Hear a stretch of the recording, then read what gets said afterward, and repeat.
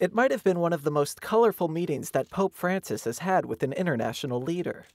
Wearing his traditional royal clothing, Otumfuo Nana Osei Tutu II of Ghana visited Pope Francis with his family and a delegation.